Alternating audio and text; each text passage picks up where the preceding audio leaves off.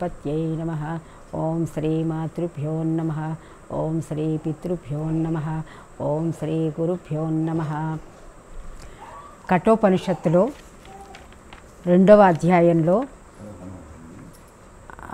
ప్రథమవల్లిలో ప్రథమ వల్లిలో మూడవ శ్లోకాన్ని పూర్తి చేసుకుని వాళ్ళ నాలుగో శ్లోకానికి రావాలి. అయితే నాలుగో శ్లోకం చేయలేదు. చేశాం ఐదో శ్లోకానికి రావాలి. ఐదో మంత్రానికి రావాలి. అయితే ఈ యముడు ఏం చెప్తున్నాడంటే నచికేతుడికి నీవు నీవు అంటే నీలో ఉన్నటువంటి పరమాత్మ అవస్థాత్రయ అతీతంగా ఉన్నది. అవస్థాత్రయ అతీతంగా ఉన్నది అంటే ఏంటి? మూడు అవస్థలు ఏంటి ప్రతి మనిషికి? మూడు అవస్థలు ఉంటాయి. అవస్థ అంటే ఏంటి?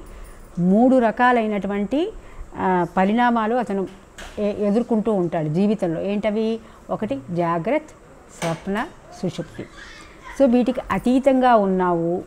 ఈ ఆత్మ వీటికి అంటుకోకుండా అతీతంగా ఉన్నది. అంటే ఏంటి? జాగ్రత్త అంటే ఈ ప్రపంచంలో మనం అంతా తెలుసుకుంటున్నామంటే ఈ ఆత్మ అనేది లోపల ఆత్మ దీపం అనేది లోపల ప్రకాశిస్తూ ఉండటం వల్ల ఈ ప్రపంచాన్ని తెలుసుకుంటున్నాం.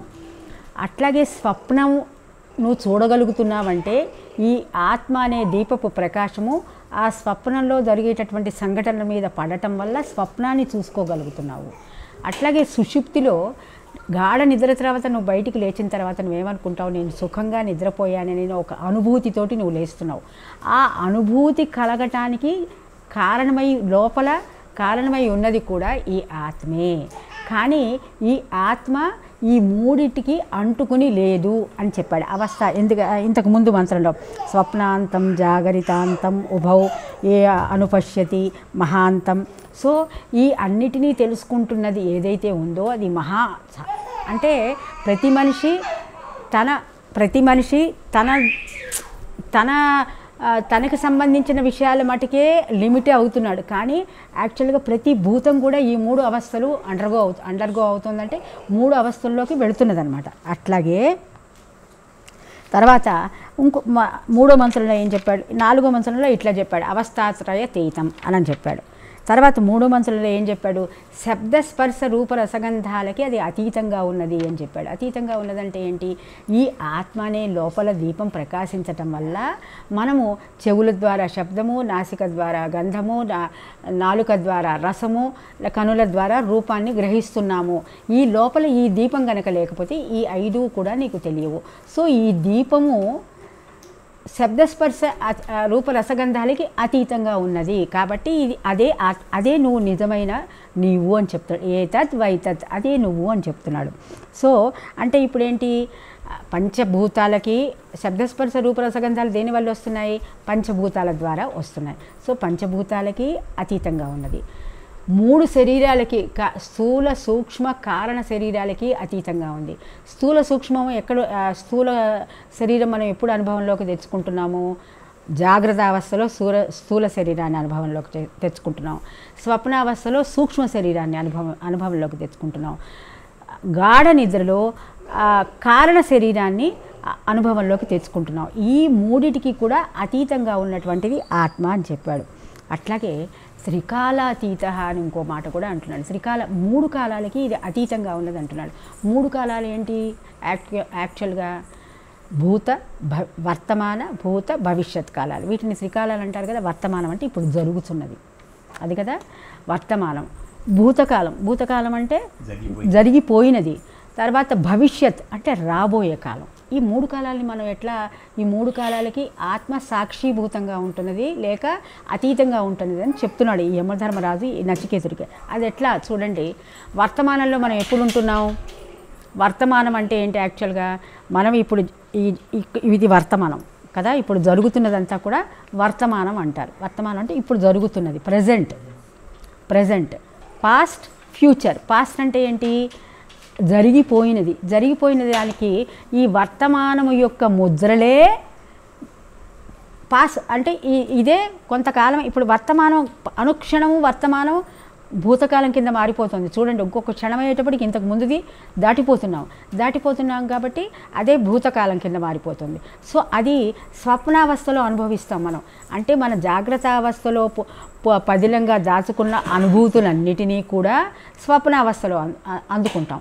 అట్లాగే స్వప్నావస్థ కూడా లో- దాని దాని లోపలికి లీనం చేసుకోగలిగినటువంటి స్థితి ఈ క- కారణ కారణ శరీరానికి ఉంటుంది అంటే భవిష్యత్ కాలం కారణ శరీరానికి శరీరం మూల కారణం అవుతుంది ఇది ఎట్లా అంటే ఇప్పుడు చూడండి మనము జాగ్రత్తావస్థలో పొందినటువంటి అనుభూతులన్నీ కూడా అవన్నీ కూడా ఈ కాలం వేరు అంటే అనుభూతుల యొక్క ఈ కాలం వేరు.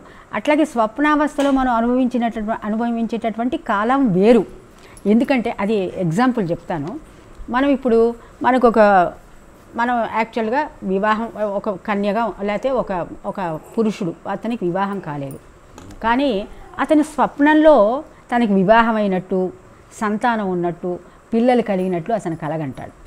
కలకనే ఛాన్స్ ఉంది కదా? అంటే ఏంటి? ఆ కాలము వేరు ఈ కాలం వేరు.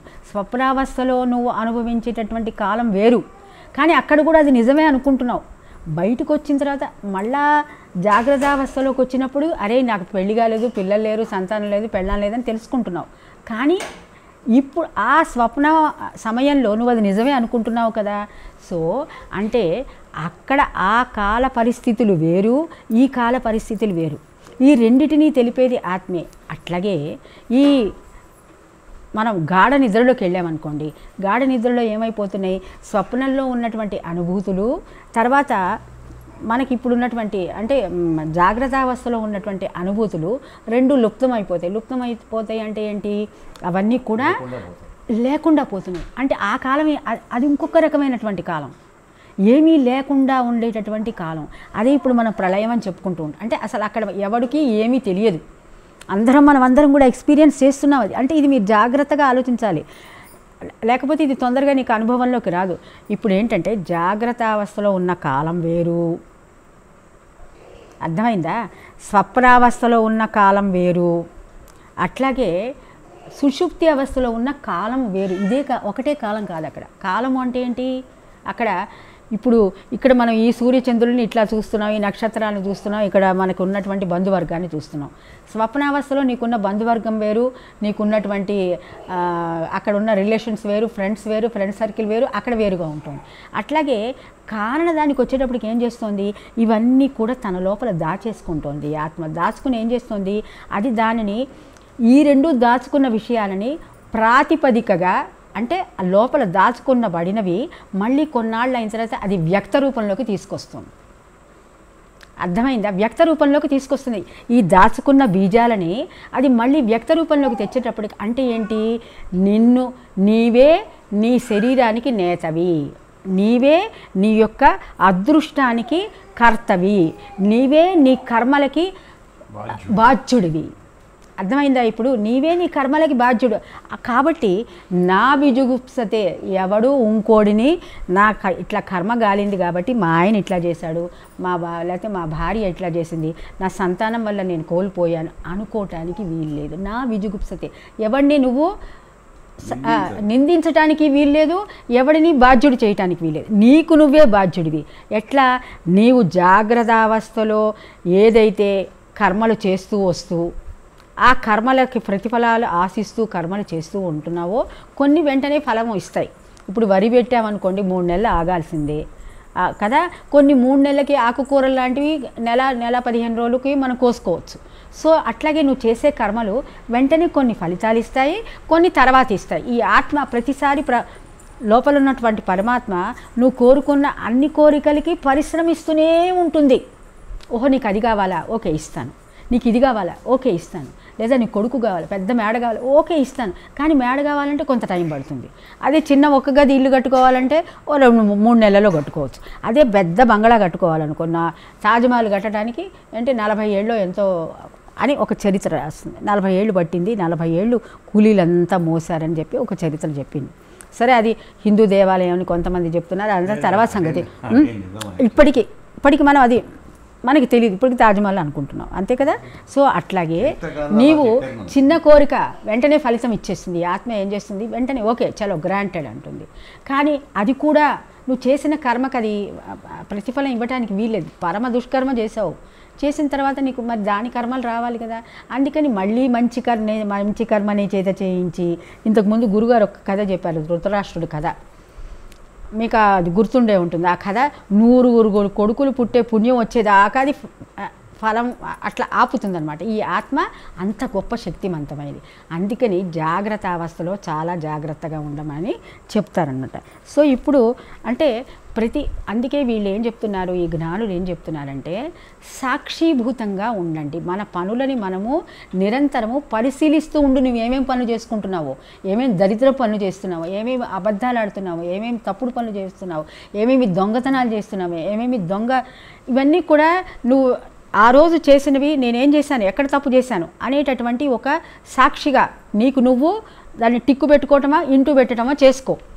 చేసుకుని దానికి విరు అంటే దానిని ఎరాడికేట్ ఎరాడికేషన్ అంటే ఏంటి? దానిని చెరిపేసేటటువంటి నిర్మూలన. చేసేటటువంటి మంచి పనులు కదా? అయితే ఆ నిర్మూలన ఎట్లా చేయాలి? ఆ నిర్మూలన చేసుకోవటం చాలా కష్టమైనటువంటి విషయం. ఎందుకంటే అది మామూలు మనిషి చెయ్యలేడు. మామూలు మనిషి నిర్మూలన చేయలేడు ఎందుకంటే ఖచ్చితంగా నువ్వు చేసినటువంటి కర్మలు ఫలితాలు అనుభవించటం అనేది ఈ ఆత్మ ప్రకాశం నీకు చేయిస్తుంది. ఆటోమేటిక్గా అది నువ్వు ఏదనుకుంటే దానికి నువ్వు చెడు చెడుకు చెడు ఫలితం ఇచ్చేస్తుంది. మంచికి మంచి ఫలితం ఇచ్చేటటువంటి గొప్ప శక్తి ఉంది కాబట్టి అందుకని ఇక్కడ వీడేం చెప్తున్నాడు? ఈ ఐదో మంత్రానికి రండి. యముడు చెప్తున్నాడు అనమాట ఈ ఐదో మంత్రం ఇవాళ దీనికి వద్దాం అంటే ఇప్పుడు అవస్థాత అవస్థాత్రయాతీతం అవస్థలేంటి? త్రికాలాలకి జాగ్రత్త స్వప్న సుషుప్త అవస్థలకి ఇది అతీతంగా ఉంది. మూడు కాలాలకి అతీతంగా ఉంది. మూడు శరీరాలకి అతీతంగా ఉంది. అట్లాగే మూడు శరీరాలు కాకుండా ఇంకా ఏమున్నాయండి? శబ్ద పంచభూతాలకి అంటే శబ్దస్పర్శ రూప తన్మాత్రలకి అదే శబ్దస్పర్శ రూప రసగంధాలు అనేటువంటి తన్మాత్రలకి కూడా ఇది అతీతంగా ఉంది దూరంగా ఉందన్నమాట. సో ఇప్పుడు ఈ దూరంగా ఉండి సాక్షీభూతంగా నువ్వు ఉండాలి. తర్వాత నీకు నువ్వు ఈ ఈ కర్మల బంధం నుంచి బంధాల నుంచి నువ్వు ఎట్లా తప్పుకోవాలి? నువ్వు నిజంగా ఎవరివై ఉన్నావో ఈ ఐదో మంత్రం చెప్తోంది. ఈ ఐదో మంత్రం చాలా గొప్పదైన మంత్రం. ఈ నాలుగో మంత్రంలో కూడా మహాంతం విభుమాత్మానం మత్వా ధీరో నశోచతి ఈ స్వప్న జాగ్రత్త సుషుప్తి అవస్థలని ఎవడైతే జాగ్రత్తగా పరిశీలిస్తూ ఈ సుషుప్తి అవస్థ కూడా జాగ్రత్తగా కేర్ఫుల్గా ఉండాలి. ఎందుకంటే ఏవేవి బీజరూపంగా సుషుప్తిలోకి వెళ్ళిపోతూ ఉంటాయి. సో బ్రహ్మ విష్ణు మహేశ్వరుడు నీ దగ్గరే ఉన్నారు. బ్రహ్మ అంటే ఏంటి అక్కడ? నువ్వు ఒక కార్యాన్ని జనింపజేయటాన్ని మొదలుపెట్టడాన్ని బ్రహ్మగా నువ్వు చేస్తావు. విష్ణువుగా దాన్ని పెంచి పె- పెంపొందిస్తావు. తర్వాత శివుడుగా. దాన్ని లయింపజేసుకుంటావు. దాని యొక్క ప్రతిఫలం అనుభవించటానికని ఈ కార్యరూపం దాల్చినటువంటి పనులన్నిటికీ ఫలం అనుభవించేదంతా కూడా ఈ సుషుప్తిలో దాచుకుంటావు. స్టోరేజ్కి వెళ్ళిపోతాయి. అదే శివుడు చేసే పని. లోపల శివుడుగా ఉండి లయింపజేయంగానే శివుడు చంపుతున్నాడు అనుకోకండి. నిజంగా మనం ప్రతివాడు ప్రతి మనిషి మన కర్మ ప్రకారమే జరుగుతుంది. నువ్వు చేసేటటువంటి పనులు కానీ చేసిన పనులన్నీ స్టోరేజ్లో పెడతాడు. స్టోరేజ్లో లైన్ పెడతా చేయకుండా. లయింపజేస్తాడు అది నిద్రపోయే మళ్ళీ ఈ జన్మలో తీరకపోతే వచ్చే జన్మకి ప్లాట్ఫారం ప్లాట్ఫామ్ సో అక్కడ. అందుకని సుషుప్తి కూడా చాలా జాగ్రత్త. అందుకే జ్ఞానులు జాగ్రత్త జాగ్రత్త జాగ్రత్త అని మూడు సార్లు అన్నారు. జ్ఞాన రత్నాపహారాయ తస్మాత్ జాగ్రత్త జాగ్రత్త జాగ్రత్త. ఎందులో ఎందులో జాగ్రత్త జాగ్రత్త అవస్థలో జాగ్రత్తగా ఉండు. అత్యంత జాగ్రత్తగా ఉండు. స్వప్నావస్థలో కూడా జాగ్రత్తగా ఉండాలి. స్వప్నం వస్తుందంటే అక్కడ నీకేవో బీజాలు ఉన్నాయని అర్థం. అందుకే దుస్వప్న నాశని ఈ ఇందులో చెప్తాడు. అదేంటి? లలితా సహస్రంలో లలితా సహస్రం ఎవడైతే చదువుతూ ఉంటాడో వాడు నిర్బీజమై వాడికి స్వప్నాలు రావు. స్వప్నాలు వస్తున్నాయంటే అవి మళ్ళీ కారణానికి వెళుతున్నాయని గుర్తుపెట్టుకోండి. కారణంలో నిక్షిప్తమైపోయి నిక్షిప్తమై మళ్ళీ నీకు జన్మ కింద మళ్ళీ ఒక శరీరం కింద. సో శరీరం అంటే ఏంటి?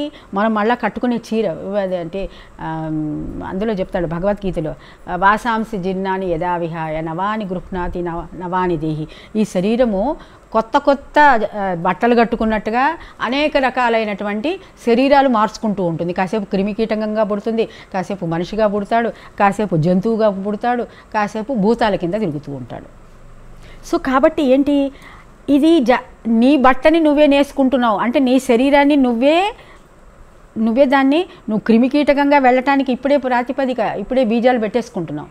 లేదా మనిషిగా మారాలంటే నువ్వు చేయాల్సినటువంటి సత్కర్మలు. ఆ సత్కర్మలు కూడా ఫలితం ఆశించకుండా చేయాలి అని చెప్పి చెప్తూ ఇక్కడ ఈ మంత్రం చూడండి. అంటే ఇది చాలా గొప్పదైన మంత్రం. ఇది ఈ తక్కువ టైంలో చెప్పగలనా లేదా మన అదృష్టం మీ అదృష్టం నా అదృష్టం. సో ఇక్కడ ఈ మంత్రం అనండి. యా యా ఇమం మద్వదం. వేద. ఆత్మానం. జీవమంతికాత్. మంతికాత్ జీవమంతికాత్. మంతి. ఈశానం. భూతభవ్యస్య. నా తతో. విజుగుప్సతే. విజుగుప్సతే. అంటే ఎవరిని హేట్ చేయరు వీళ్ళు. హేటింగ్ ఓన్లీ పైకే ఉంటుంది. ఎరా బుద్ధి లేదా? లేచిన తర్వాత తిన్న తర్వాత పని చేయవా? అని అంటాం. కానీ వాడి మీద కక్ష కోపము వాడిని సాధించాలని వాడిని ఏడిపించాలని ఉండదు. మళ్ళా వాడికి ఏదైనా ఒంట్లో బాగాలేకపోయినా బాగాలేకపోయినా వెంటనే పిలిచి మందు రాస్తామన్నమాట. మందు పూసి మంత మాయా చేసేని అనేదో పాడతావు కదా అట్లా. నా విజుగుప్సత ఎవరి మీద కక్ష కోపము శపించడం అని ఉండదు. ఏతత్ వైతత్. అదేరా నువ్వు తెలుసుకోవాల్సింది అని నచికేతుడు వీడికి చెప్తున్నాడు. ఏతద్ వైతత్. ప్రతి ఇది రెండోసారో మూడోసారి? ఏతద్ వైతత్ అని ప్రతిసారి అంటున్నాడు అనమాట సో అదే నువ్వు తెలుసుకోవాల్సిన విషయం ఏది మనం తెలుసుకోవాల్సిన విషయం మళ్ళీ చెప్తున్నాడు. ఎన్నిసార్లు చెప్పినా మనకి మన బుద్ధి ఇంతే ఉంటుంది. కాబట్టి ఇక్కడ ఏం చెప్తున్నాడు? కర్మఫలాలను అనుభవించే కర్మఫలాలు ఎవరు ఎవరు అనుభవిస్తారండి? జీవుడు అనేవాడు. మనకే కదా కావాలి అన్ని ఆశలు ఇల్లు కట్టుకోవాలి వాకిలు కట్టుకోవాలి పిల్లలు కావాలి సంతానం కావాలి వాళ్ళకి పెళ్ళిళ్ళు చేయాలి మనవాళ్ళు కావాలి మనవరాళ్ళు కావాలి. మనకే కదా ఆశలు? జీవుడు. అంటే జీవత్వం అంటే ఏంటి? ఆశలు కలిగిన వాడు కోరికలు కలిగిన వాడిని జీవుడు అంటారు. అయితే ఈ కోరికలకి ఆధారంగా ఉన్నవాడిని దేవుడు అంటారు. సో ఈ జి అంటే ఇద్దరు మళ్ళా ఈ ఆధారంగా ఎట్లా? ఆధారంగా ఉన్నవాడేమో లోపలున్నాడు బయటికి వచ్చేవాడేమో జీవుడయ్యాడు. అర్థమైందా? బయటికి దేని ద్వారా వస్తాడు అతను? ఈ దేవుడు బయటికి దేని ద్వారా వస్తాడు? మన పంచ జ్ఞానేంద్రియాల ద్వారా బయటకు వస్తున్నాడు కదా? అంతే కదా? కళ్ళ ద్వారా బయటకు వచ్చినప్పుడు రూపాన్ని చూస్తున్నాడు. చెవుల ద్వారా బయటకు వచ్చినప్పుడు శబ్దాన్ని చూస్తున్నాడు. నాలిక ద్వారా బయటకు వచ్చినప్పుడు రుచిని చూస్తున్నాడు. సో ఈ దేవుడే జీవుడు అవుతున్నాడు మనం ఏం చేస్తున్నాం? ఆ దైవత్వాన్ని తీసుకెళ్ళి ఏంటి జీవత్వంలోకి ముందుకు తీసుకెళ్తున్నాం. ఎట్లా తీసుకెళ్తున్నాము? ఒక రుచి చాలలా మనకి. ఆశ్రమంలో పెట్టి రెండు రుచులు చాల మూడు రుచులు మధ్యలో మధ్యలో హోటల్కి వెళ్ళి తినొస్తాం ఐస్ క్రీమ్ తిని రావాలి. లేకపోతే ఇంకేదో పార్టీకి వెళ్ళి రావాలి. సో ఈ రుచి చాలా ఇంకో రుచి కావాలి. సో జీవత్వాన్ని పెంచుకుంటాం అనమాట అర్థమైందా? అట్లాగే సంతానం. సంతానానికి ఏదో మనం సరే వాడికి స్కూటర్ కొనిచ్చాం చాలా వాడికి కారు కొనియాలి ఇంకా కాస్త కష్టపడటం సో ఈ జీవత్వాన్ని ఇట్లా పెంచుకుంటూ పోయేవాడు ముందు ఆ దేవుడు బయటకు వచ్చి పరిగెత్తుతూ బయటికి వెళ్ళేవాడు జీవుడు ఆ లోపలే కూర్చుని సాక్షిభూతంగా ఉండేవాడు దేవుడు. ఆ లోపల చూస్తూ ఉంటాడు వాడు. ఆ పోతావా? పోవయ్యా. ఈ నీ జుట్టంతా నా చేతిలో ఉంది. లాగుతా ఎప్పుడో వెనక్కి. లాగినప్పుడు ఏమవుతుంది? నువ్వు బొక్క బోర్లాబడి అనేక రకాలైనటువంటి క్షీణయోనుల్లోకి పుట్టుతావు అనమాట అంటే నువ్వు చెయ్యి పాపం చేస్తావా? చెయ్యరా? చెయ్యి. చేస్తావా? కూర్చుని తింటావా? తిను తిను. ఎవరి సొత్తు అనుకుంటున్నావు ఇదంతా?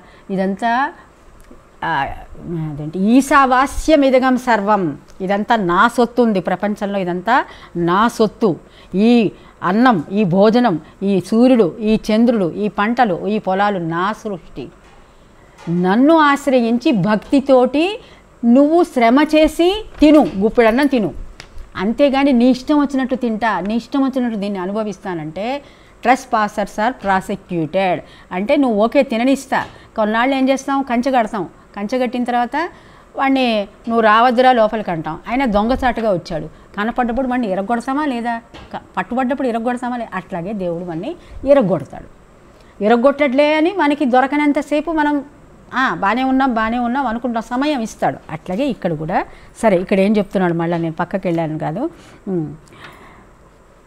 కర్మఫలాలను అనుభవించి ప్రాణానికి ఆధారమైన ఈ ఆత్మను దగ్గరలో ఉన్నట్టు అంటే మన్ని వేరే వాళ్ళు చూడక్కర్లా. రామచంద్ర నా గురించి చెప్పక్కర్లే లేకపోతే భాస్కర్ నా గురించి చెప్పక్కర్లా. నేనే చూసుకుంటూ ఉండాలి నన్ను నేను. అర్థమైందా? అమ్మగారు అట్లా చేసింది ఇట్లా చేసింది అని మీ ద్వారా వినటం కా కాకుండా నేను నాకు నేను పరిశీలన చేసుకుంటూ ఉండాలి. ఆత్మ పరిశీలన నేను చేస్తున్నానా కరెక్ట్గా ఉన్నానా లేదా? ఎందుకంటే నాలోనే ఉన్నాడుగా సాక్షి పరమాత్ముడు నాలోనే ఉన్నాడు కదా. సో ఎవడికి వాడు? దానిని ఈ ఆత్మను దగ్గరలో ఉన్నట్లు అదే సమయంలో భూత భవిష్యత్తు కాలాలకు నేతగాను. చూసావా? ఈ ఆత్మ నీ చేత అనేక కర్మలు జాగ్రత్త అవస్థలో చేయిస్తోంది. జీవుడుగా నువ్వు చేస్తున్నావు. అవునా? చేసిన దాన్ని రికార్డ్ చేస్తుంది అది. రికార్డ్ చేసిన తర్వాత అది స్వప్నావస్థ కింద తీసుకెళ్ళి సుషుప్తి అవస్థ తీసుకెళ్ళి తర్వాత బీజావస్థకి వెళ్ళిపోయిన తర్వాత మరణించిన తర్వాత మళ్ళీ ఆ కర్మఫలాలు నీకే అంటబెట్టేస్తుంది. సో నేతగాను తెలుసుకునే ఎవరైతే ఇట్లా గ్రహిస్తాడో వాడు య- నా విజుగుప్సతే ఎవరిని ద్వేషించడు. సో నా ఈ బాధకి ఫలానా వాడు కారణమని చెప్పుకోవటానికి లేదు. నీకు నువ్వే కారణమని తెలుసుకో. నీ బాధలకి నీ కష్టాలకి నీ శరీరానికి నీ జబ్బులకి నీకున్న రుగ్మతలకి నీకున్నటువంటి రోగాలకి నువ్వే బాధ్యుడివి. ఇంకెవరు? వాడి వల్ల ఇట్లా అయింది వీడి వల్ల ఇట్లా అయింది. అనుకోవటానికి ఈ నిజమైనటువంటి జ్ఞానం తెలిసిన వాడే వాడికి ఇది అర్థమైపోతుంది. సో నేను పడేటటువంటి సమస్యలు క్లిష్ట పరిస్థితులకన్నిటికీ నేనే బాధ్యుడిని. ఎవరూ బాధ్యుడు కాదు కాబట్టి. సో అప్పుడు ఇంకా ఎవరిని తిట్టుకోవాల్సిన అవసరం ఏముందండి? తిట్టుకోవాల్సిన అవసరం లేదు. నా విజుగుప్సతే అట్లా తెలిసినవాడు ఎవరిని దేశించడు అదే నువ్వు అడిగిన వస్తువు అని చెప్పి యమధర్మరాజు నచికేతుడు ఏ తత్ వై వైతత్ అదే అని చెప్తున్నాడు. సో ఇక్కడ మనం మళ్ళీ ప్రతిపదార్థం చూద్దాం. ఏతద్వైతద్ అంటే ఇట్లాగే నాకు ఒక చిన్న ఈ ప్రతి పదార్థం దీని యొక్క ఇది చెప్పే ముందర ఒక చిన్నది గుర్తుకొస్తుంది. ఇట్లాగే మన గురుగారు లాంటి వాడు ఎవడో ఒక ఆశ్రమాన్ని పెట్టుకున్నాడు. ఆశ్రమాన్ని పెట్టుకునేటప్పటికీ వాడు ఎప్పుడు ఆ గురువుగా గురువుగారు ఎప్పుడు అందరినీ తెగదిట్టిపోస్తూ ఉండేవాట. ఏమిటి? ఆ గురువు దగ్గరికి వచ్చి వీళ్ళందరూ కూడా ఏమడిగేవాళ్ళు? మొన్న నిన్న ఒక ఆయన వచ్చాడు. సత్సంగానికి వచ్చాడు విన్నాడు. ఆ సత్సంగం ఎటువంటిది? కృష్ణుడికి తర్వాత ఆయన ఎవరు? ఉద్ధవుడికి జరిగినటువంటి పెద్ద జ్ఞాన జ్ఞానానికి సంబంధించినటువంటి గొప్పదైనటువంటి ప్రశ్నలు జరిగినటువంటి సత్సంగం. సత్సంగం అయిపోగానే ఆయన ఏమడిగాడు? మా అమ్మగారికి మోకాళ్ళ నొప్పులుగా ఉన్నాయండి మంది ఏమన్నా ఇస్తారా? అంటే? బాధ్యత కనుక అంటే ఏమిటి? ఆయన కొడుకు అయితే ఆయన బాధ్యత నాకెందుకు సంబంధం? ఇప్పుడు గురుగారు దుకాణం దేనికి తెచ్చుకుంటాడండి చెప్పండి. ఆశ్రమం అనే దుకాణం దేనికి తెరుస్తారు? ఆత్మజ్ఞానం నేర్పడానికి. అంతే కదా? నాకు పిల్లలు పిల్లలు పుట్టకపోతే పిల్లలకి లేకపోతే పిల్లాడికి ఒంట్లో బాగాలేతే వాడికి మందు తల్లికి వాడి తల్లికి ఒంట్లో బాగా లేకపోతే వాడి తండ్రికి వాడి తాతకి వీటికే చేస్తాడు. అంటే అవన్నీ చెయ్యడని కాదు గురువు వాటికి కూడా చేస్తాడు. కానీ నువ్వు అసలు దొదులుకుని మిగతావన్నీ అడిగినప్పుడు నువ్వు దేనికి ఆత్మజ్ఞానానికి కదా? ఆశ్రమానికి అంటూ వచ్చింది ఆత్మజ్ఞానానికి కదా? మిగతా వాటికి వచ్చావా నువ్వు? తినటానికి తాగటానికి? కాదు కదా? తినటానికి తాగటానికి ఇక్కడ ఉన్నాయి ఉంటాయి. కానీ నువ్వు వచ్చింది మన పర్పస్ ఏంటి యాక్చువల్గా ఆ పర్పస్ లేకుండా పక్కబడిగాడు అనుకో సి నీకు దరిద్రుడా మూర్ఖుడా నీకు ఏం కోరిక కోరుకోవాలో కూడా తెలిసావదిరా బాబు అని తిట్టిపోస్తాడు. అట్లా ఏ కోరికలు కో ఏ శిష్యులు వచ్చి రకరకాల సమస్యలు. ఒకళ్ళ పిల్లలు కాలేదు. మా అమ్మాయికి ఎన్నాళ్ళకి మాటలు రావట్లేదు.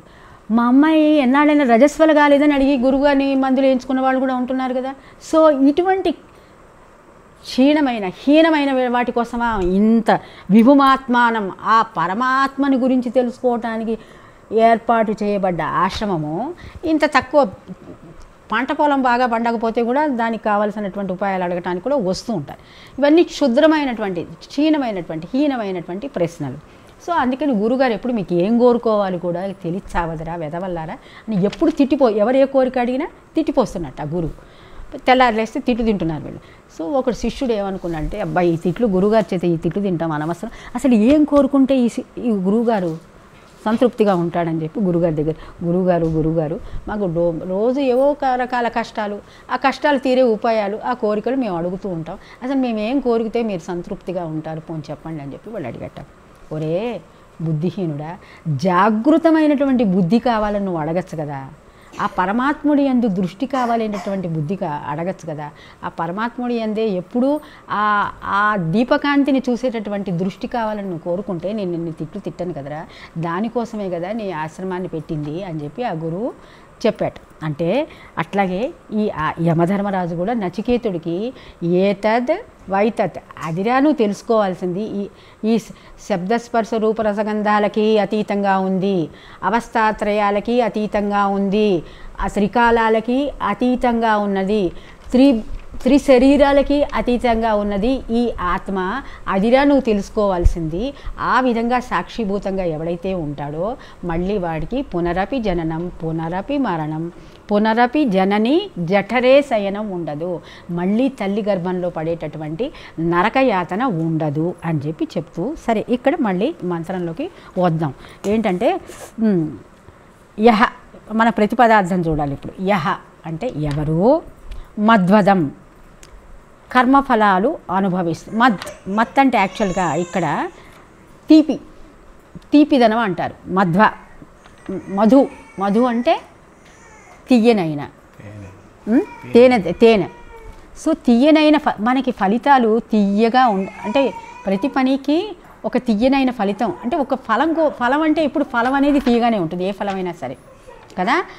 జనరల్గా ఫలం అనేది తీయగా ఉంటుంది. చేదు ఫలాలు ఉంటాయి ఉన్నాయేమో అది తర్వాత సంగతి. సో ప్రతి మనిషి ప్రతి జీవుడు ఫలం కోరుకుంటూ పనిచేస్తుంటాడు కాబట్టి వాడిని మధు అంటే ఒక తేనెటీగతో పోల్చారనమాట మధ్వదం వేద తర్వాత యహ ఎవరు మధ్వదం కర్మఫలాలు అనుభవిస్తూ అనుభవించడానికి ఇష్టపడతాడో జీవం ప్రాణానికి ఆధారమైన ఇమం. అంటే ఈ జీవానికి ప్రాణానికి ఆధారమైనటువంటిది లోపల ఇంకోటి ఉంది. అంటే ఇప్పుడు చూడండి నేను ఈ పండు తింటున్నాను అని అంటాం. ఈ పండు నేను తింటున్నాను అంటే అంటే నేను వేరు తినేవాడు వేరు అని అర్థం అనమాట అంటే తినే అనుభూతి వేరు నేను వేరు. నా తల నొప్పిగా ఉంది అంటే తలే నువ్వు కాదు తల వేరు నువ్వు వేరు. నా చెయ్యి నొప్పిగా ఉంది. ఈ చెయ్యి నడుస్తలేదని అంటూ ఉంటాడు రాములు. అంటే రాములు వేరు ఈ చెయ్యి వేరు అక్కడ. సో అట్లాగే అనుభవం వేరు అనుభవించేవాడు వేరు అని ఇక్కడ చెప్తున్నాడు అనమాట ఈ ఆత్మానం ఆత్మను అంటే ఈ ప్రాణాలకి ఈ ఫలము అనుభవించేటటువంటి ఈ జీవత్వం ఏదైతే ఉందో అనుభూతి ఏదైతే ఉందో దానికి ఆధారమైనటువంటి ఆత్మను అంతికాత్ దగ్గర అంటే దగ్గరగా తనలోనే ఉన్నట్లుగా తర్వాత భూత భవ్యస్య అంటే గత కాలానికి భవిష్యత్తు కాలానికి ఈశానం. అంటే భవిష్యత్తు కాలానికి అంటే ఇప్పుడు నేతగా. అంటే ఈశానం అంటే నేతగా. అంటే నీ కర్మని నువ్వే రాసుకునేవాడిగా నేతగా వేద తెలుసుకుంటారో తెలుసుకుంటాడో తత తరువాత నా ఎవడైతే తెలుసుకుంటాడో తెలుసుకున్న తర్వాత వాడికి ఏమవుతుంది? నా విజుగుప్సతే. ఎవరిని వాడు తిట్టుకోడు.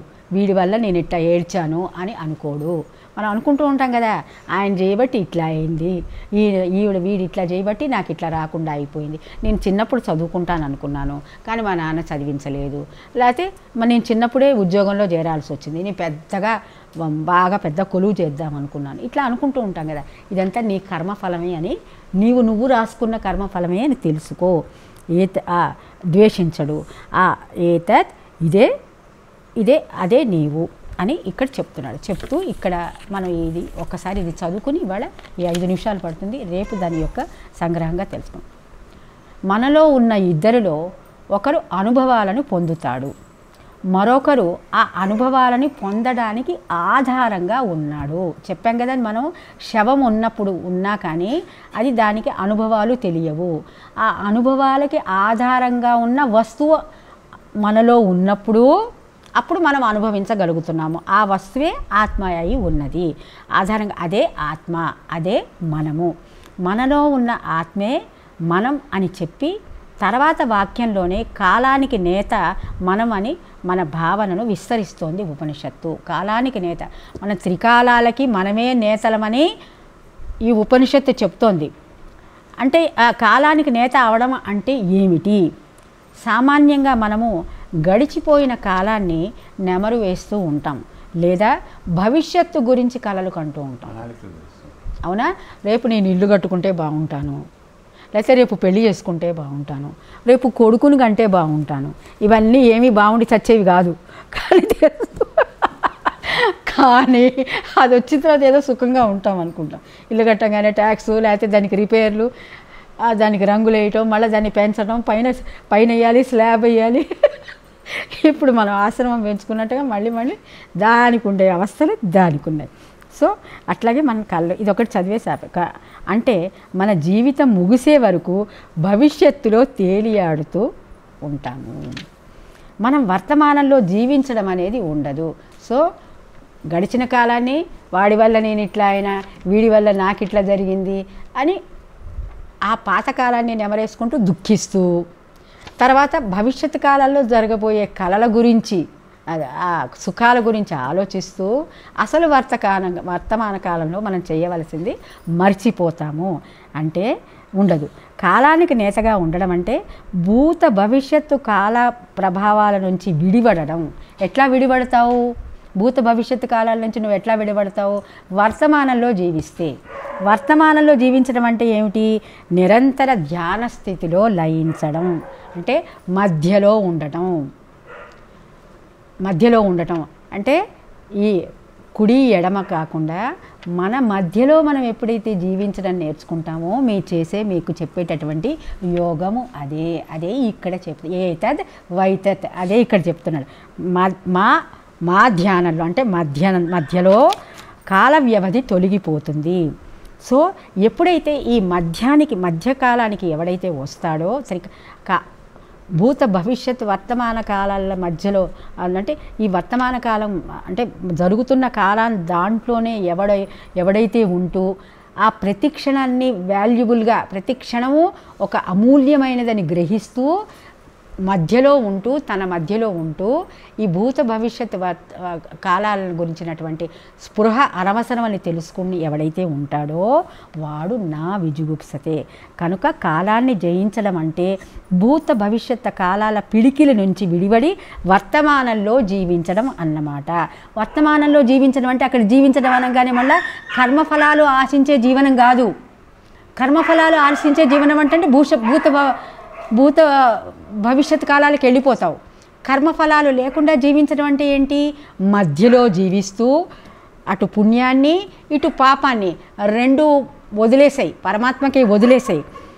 భూత భవిష్యత్ కాలాలు మన మీద ఎలా ఆధిక్యం చెలాయిస్తున్నాయని తె- గుర్తు తెలుసుకుంటూ వర్తమానంలో జీవించడానికైనా మా జీవించడానికి పునాదులు వేసుకుంటూ ఈ మధ్యలోనే లయించటం అనేది ఈ మంత్రం చెబుతున్నది. దీని గురించినటువంటి విశేషాలు ఇంకా చెప్పాలి. అది రేపు మాట్లాడు తర్వాత మాట్లాడుకుందాం. ఇక్కడికి ముగిద్దాం. ఏమైనా మీకు అర్థమైందో లేదో అది తర్వాత తెలుసు ఓం తత్స వర్ధమానంలోకి వస్తుంది. స్వస్తి ప్రజాభ్య పరిపాలయంతం న్యాయేన మార్గేణ మహిమహిష గోబ్రాహ్మణేభ్య శుభమస్తు నిత్యం. లోకా సమస్తా సుఖినో భవంతు. ओम शांति शांति शांति।